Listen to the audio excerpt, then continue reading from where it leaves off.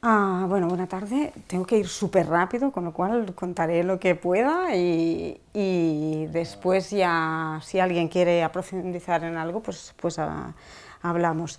Este es el título que me pusieron, súper largo el título para una cosa tan corta.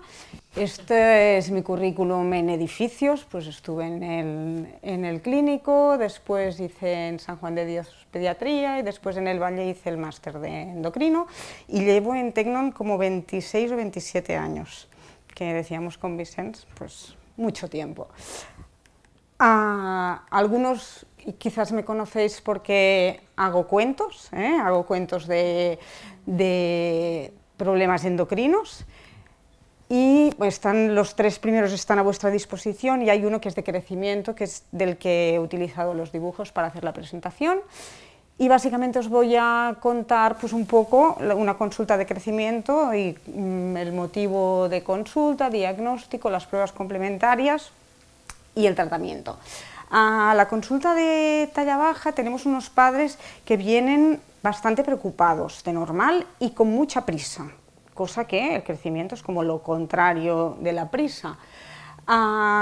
Mm, muchas veces son niños que están afectos de bullying y esto hay que tenerlo en cuenta porque la preocupación de estos padres a veces no es porque sea bajito, sino porque se meten con él en el cole. Primera cosa que tenemos que hacer es mm, medir bien a este paciente, porque dos centímetros de más o de menos, pues después nos pueden podemos sacar conclusiones, conclusiones malas. Y vosotros cuando los veis por un constipado o que vienen malos, a veces la medida pues la hacemos un poco así. Otro día los medimos que están por la mañana y un poco mejor y, y, miden un poco más, ¿eh? con lo cual pues estirarlos bien ponerlos en una gráfica, de gráficas hay montones, de normal yo creo que utilizáis la mayoría estas, pero lo importante es utilizar las mismas siempre. Después si vas a dar un tratamiento, pues quizás es importante tener una gráfica validada, pero mm, lo importante es que sea la misma y calcular también el índice de masa corporal para saber si ha bajado o ha subido, que nos afectará en la, nos afectará en la altura. Ah, explorar al niño desnudo, ah, verle las proporciones, las facies, a veces por lo de ir rápido no desnudamos del todo y nos podemos perder, perder cosas. Ah, y bueno, y preguntar todo lo que, todo lo que hay que preguntar.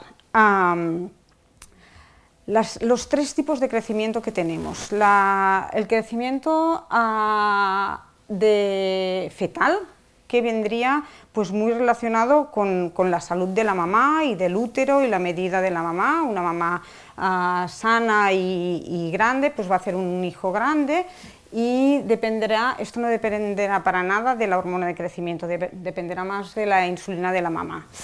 A veces madres jóvenes, bajitas y sanas hacen bebés muy grandotes, el ejemplo de las, de las gitanas, estas que paran unos, paren unos niños pues, muy grandes y que después, durante el crecimiento infantil, en la, en la, etapa, en la etapa prepuberal, pues se van metiendo en su, en su en su carril de, crecimiento. Y esto muchas consultas de, que nos derivan a, los endocrinos es pues de los dos a los tres años que tienen dos cosas, que el niño se va metiendo en su carril de crecimiento y después que pasas de la longitud a la altura, que esto también hay, hay veces pues que no en todos los sitios se pasa a los dos años de longitud a la altura, depende de cómo se porta el niño o de, y depende de cómo lo estiras, pues es, es muy distinto.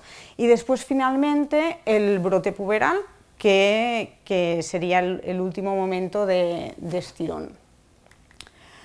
Ah, a mí me gusta mucho esta gráfica, yo se la enseño a casi todos los padres, si tengo tiempo se la, enseño, que es una gráfica de velocidad de crecimiento, esta no la, tenéis todos los pediatras, no en, no en, todas las consultas está, pero yo creo que es muy bueno tener una gráfica de estas para que los papás vean pues, que el niño cada vez crece menos durante toda la infancia y a veces pues los pantalones de mm, los 7 a los 8 años pues casi le van bien y que es normal que antes le cambiabas más la ropa y ahora le cambias menos. Y encima en los, en los que estamos esperando que den el estirón y no lo dan, justo antes del estirón se para y entonces ya se pone todo el mundo muy, muy nervioso.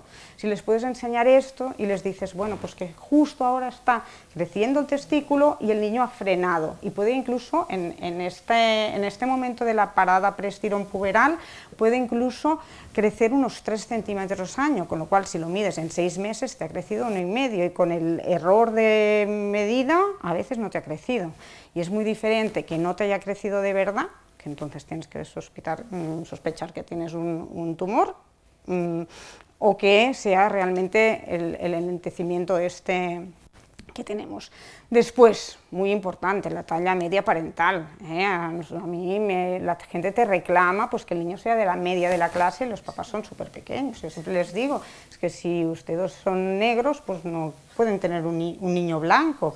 Es que es, es normal y aparte no dar una talla diana en un número, sino darla siempre en un rango, porque no todos los hermanos son iguales, con lo cual pues, el hermano es más alto, sí, pero es que es como una bola de probabilidades y tú coges dos bolas con tus dos hijos, pero no, no van a ser todos iguales, por lo tanto dar el rango de más menos 5 siempre. Ah, la radiografía de la mano, si la veis vosotros, perfecto, podéis tener el libro o podéis tener en el móvil mismo, es muy fácil de mirar, se puede mirar, pero las que te informan a veces te dicen que son normales y son normales porque son más menos dos años, pero claro, a nivel de crecimiento tiene, tiene mucha importancia la radiografía de la mano. Bueno, cuando ya realmente tenemos una talla baja de verdad, que hemos descartado todas, todas estas otras cosas, Ah, son dos desviaciones estándar por, la media, por edad y sexo, en la población de referencia. Las chinas adoptadas van aparte, los niños que vienen de otro país van aparte, los tendríamos que poner con, sus, con sus gráficas de referencia. Y después tenemos la velocidad de crecimiento. No solo tenemos un niño bajito, sino bajito y que crece mal, para sospechar un, déficit de hormona de crecimiento, que es lo que estamos hablando las pruebas complementarias. Todo el mundo quiere que le hagas los test de estímulo, que le hagas... El test de estímulo les quieren que le hagas lo primero. Bueno, pues ah, como sabéis la secreción de GH es pulsátil y ah, la IGF-1 es un poco más estable, con lo cual nos va mucho mejor la IGF-1 y, la, y si podemos pedir la IGF-BP3 pues nos da un poco más de información. Si las tenemos las dos normales, muy raro será un déficit de, de hormona de crecimiento. Si tenemos una alta y una baja, podemos pensar en pedir un test de estímulo y si las tuviéramos las dos muy bajas, pues tenemos un poco más de números. Atención los niños bajitos, a los niños flacos, los niños muy delgados tienen una, una IGF-1 baja, con lo cual a veces nos podemos encontrar una IGF-1 baja simplemente porque es un niño delgado. ¿Qué pediremos en una analítica de estudio de crecimiento? Pues bueno, yo pienso que esto es medio lo mínimo y LHFSH si estamos, si estamos ah, si estamos pensando si va a empezar la pubertad rápido o no. Y en las niñas, si ya estás haciendo un estudio de crecimiento, a veces no cuesta tanto y podemos pedir un cariotipo. Y así tenemos descartado ya todos los turners, que hay muchos turners que, los, mm, los encontramos tarde. Y entonces, si, bueno, yo pienso que pedir un cariotipo en una niña, pues Mm, descartas mucha cosa y vale la pena. Los test de estímulo tenemos distintos, pero no hay ninguno que nos encante. Encima en el laboratorio es difícil de hacer, son poco reproducibles, tenemos que saber muy bien cuando pedimos un test de estímulo que es para dar hormona, o sea, vamos a pedir cuando, cuando queremos dar hormona. Y como no son textos que sean de la vida real, pues muchas veces te sale el, test bien, te sale que, que, sube bien la hormona y el niño sigue sin crecer, con lo cual lo ideal sería probar la hormona. Esto si pudiéramos, probaríamos la hormona. Esto es otro test, que es darle GH y ver si sube la IGF-1, ah, que estamos un poco con lo mismo, ¿verdad? ¿Sí? sí, que, tienes la sensación que tienes que hacer los test, sobre todo cuando estás con un comité que tienes que presentar unos test, pero los test no nos, no nos dan toda la información. Ah, estudios genéticos, la gente te viene pidiendo, los genes, los padres piden, esto me puede, bueno, pues tenemos que también intentar pues no pedir genes de cosas que no sabemos lo que buscamos. ¿eh? Tenemos, si tenemos el niño desnudo y es un niño rarito, pues bueno, este es el que nos tenemos que preocupar y buscar un poco dónde, dónde, dónde, dónde buscar, no buscar así a lo, a lo grande. Pruebas de imagen. Si hacemos una resonancia para estudiar la hipófisis, para ver el crecimiento, la tenemos que hacer con contraste. A veces hay gente que pide una resonancia, ay, porque así vemos la hipófisis, y la tienes que volver a pedir con contraste. Si vamos a dar hormona un poco por protocolo, también necesitas una resonancia. Con lo cual, si la pedís, la pedís mm, con contraste y así ya, ya tenemos una.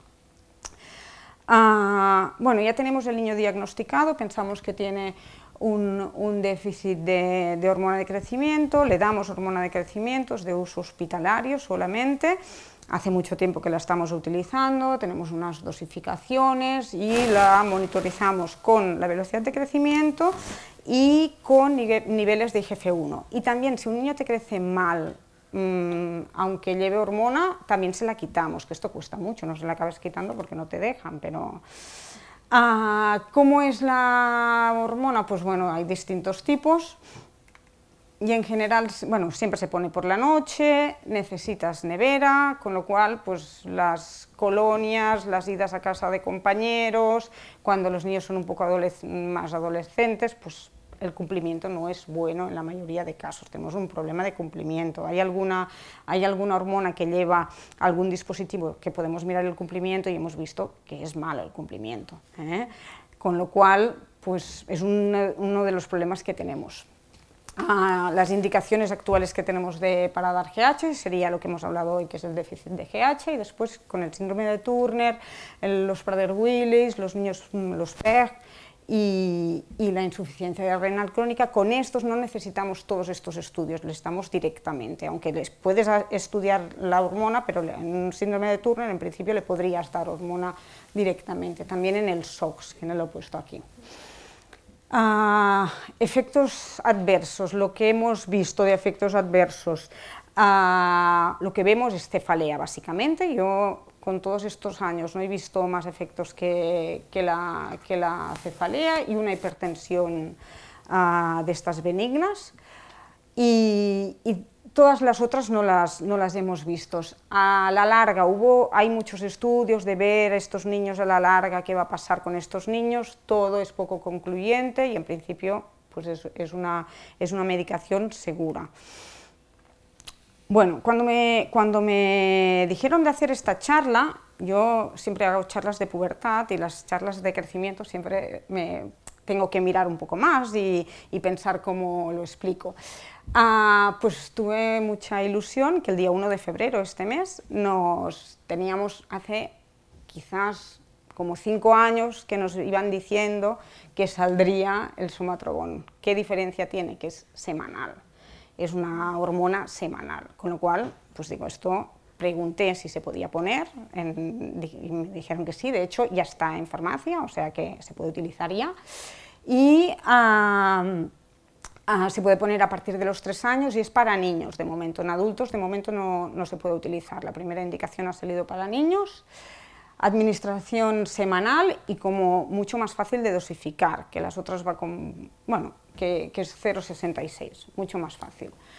Ah, le han puesto un péptido C terminal, es la misma hormona que teníamos, le han puesto como para que pesara un poco más, como los de POTS, y, parece que, que, va bien, todos los estudios nos dicen que va a ir bien y encima son unos bolis tipo los de los GLPs eh, como los de insulina, con lo cual pues nosotros estaremos súper cómodos con, con, este fármaco y lo más importante quizás es la, el cumplimiento, ¿eh? el cumplimiento de, de, la, de, la, pinchazo diaria. Ahora, ahora comentábamos que tenemos un tipo de pacientes con mucha vida social, y que el pincharse cada noche con una cosa que tiene que estar en nevera, pues bueno, encuentran mil excusas para, para no hacerlo. De hecho, a veces les subimos la dosis para conseguir una dosis semanal con un día de descanso. ¿eh? Y con esto, pues bueno, yo creo que será una, una solución muy buena. A modo de resumen, pues que la deficiencia de hormona de crecimiento es una enfermedad muy infrecuente, que en la mayoría de ocasiones es un déficit hormonal ah, aislado y de causa desconocida, ah, que muy, pocas veces tenemos, tenemos antecedentes familiares de déficit, que los padres te lo explican, a mí me pincharon, a mí me pusieron, es poco, poco frecuente. Ah, que el diagnóstico básicamente se basa en el crecimiento, lo otro nos ayuda, pero básicamente en ver cómo crece, y que la GH ha demostrado su eficacia y seguridad y, requiere pues, una monitorización de, dosis y, y tiene muy pocos efectos indeseables. Y cumplido con el tiempo. no sé si queréis aprovechar.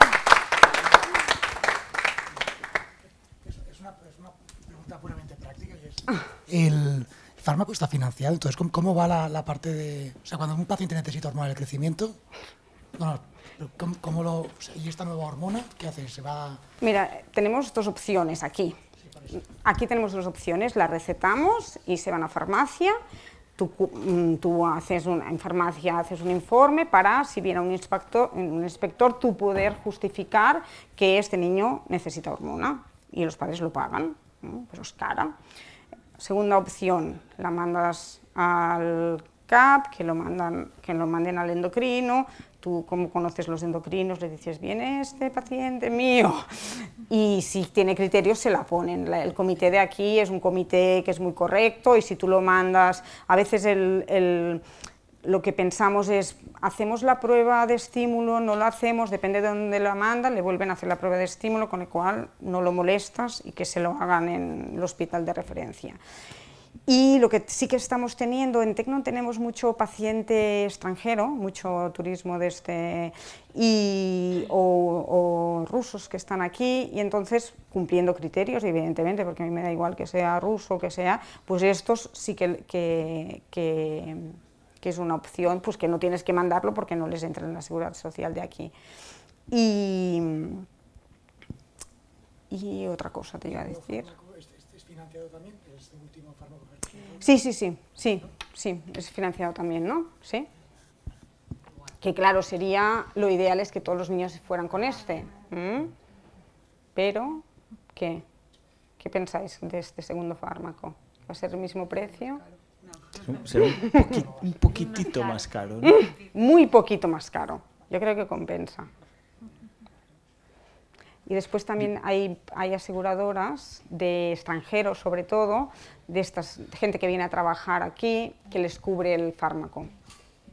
Entonces, bueno, esto también es una opción, pero si no, nosotros intentamos derivarlo siempre, con más o menos... ¿sí?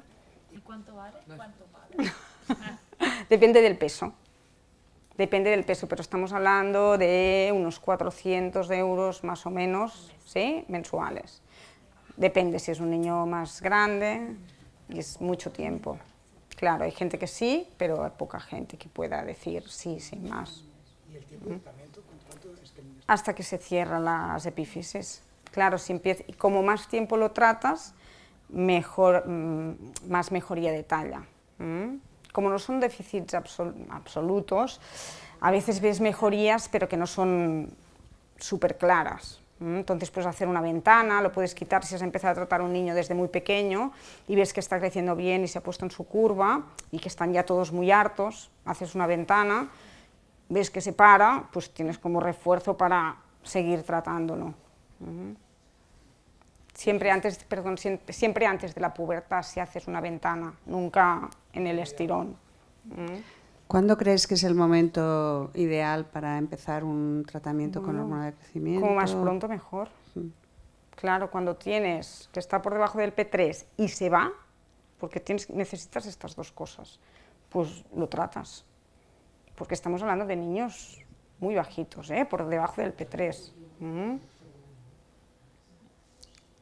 Yo una pregunta de tu opinión, en un tema un poco raro quizá. Em, a ver, en otros países, eh, aquí en España ha entrado bastante poco, pero va a entrar y está empezando a entrar. en, otros países se utiliza mucho en adultos, en pacientes crónicos que el cumplimiento con tratamientos o con hábitos de vida, etcétera, eh, es malo, ¿vale? que en pacientes crónicos es bastante habitual, eh, el uso de health coach para eh, conseguir esto en, en- en pacientes con bronquitis obstructiva y tal, en el- han conseguido incrementar el cumplimiento eh, con la medicación, etcétera, muchísimo. ¿Tú crees que podría haber No sé, qué te- no sé a qué te refieres. me refiero a un, un coach, un coach, ¿vale? Ah, un es coach. un coach de salud, que lo que hacen es eh, asesorar o seguir a unas familias para que su hijo cumpla ese tratamiento. A ver, esto se hace en adultos, ¿eh? Pero yo pregunto, como, como tú ver, tocas pacientes he- que tienen Vale. dificultad de, de, de cumplir yo, yo he tratamiento, utilizado esto, la psicóloga del grupo lo ha utilizado para diabéticos, que es un, también un paciente que no cumple. Entonces es un paciente, y sí, va bien, claro, como más, y, y sobre todo registrar, o sea, registrar lo, la dosis, porque a veces no es tan que no quieran cumplir, es que se olvidan. Entonces, ahora todos los PENS de diabetes, ahora hay un dispositivo, un dispositivo nuevo que te registra lo que te has puesto y tienes el coach, pues supongo que también va a ir bien, pero todo lo que registras y queda en el móvil y puedes mirar esta semana cuántos días me lo he puesto, me lo he puesto bien o no, pero bueno, mm, para que te hagas una idea, en otros países los hospitales públicos, ¿eh? no privados, o privados también, están contratando coach para eh, que haya mejor cumplimiento por parte de los pacientes. y, y la mejora es impresionante. ajá. sí, sí, seguro que, que tiene que ir bien. ¿eh? Nosotros lo primero que preguntamos en todas estas medicaciones es si, lo estás, si te lo estás poniendo. Pues si estás dispuesto a ponértelo. Esto Vale. que has dicho de pacientes extranjeros, lo que también hemos visto pacientes de otras comunidades, porque el criterio en todas las comunidades no es Sí, aquí, es- aquí es menos, sí, pero entonces lo que buscan es que los derives a la pública. a la pública. no se lo- y nosotros les pagamos Bueno, a los otros. Yo me he encontrado también privada, ¿eh? En Sí. concreto te, te- te puedo decir la comunidad de estar viendo y, ser criterios diferentes. El criterio aquí era ponérselo y, bueno, y en Aragón no ponérselo. Yo si pienso Sí, que les sí. puede ir bien, se la pongo, pero si pienso que no, que es por un, porque por ejemplo una talla baja familiar que tú le pongas hormona, No va a crecer. ah, va a crecer igual, hay estudios con japoneses de que igual crecen dos centímetros más y estás creando unas expectativas a los padres y estás creando que, que no son. Entonces yo no se lo pongo, pero siempre encuentran a alguien que se lo pone. ¿eh? Sí. es verdad. Esto ¿Alguien más? ¿No? Pues creo que, que nada, que muchas gracias de nuevo, Mónica, como siempre.